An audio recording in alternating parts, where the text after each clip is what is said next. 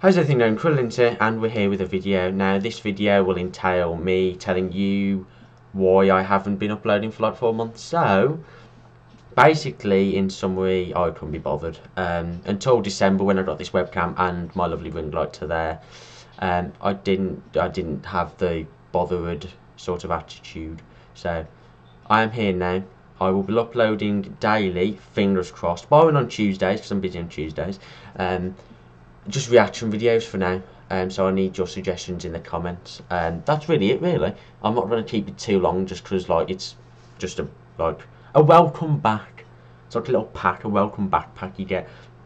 My lovely 1080p face, a ring light, and me talking.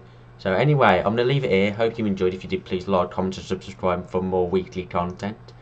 Probably more daily, but you know. So yeah, okay, I'll see you then.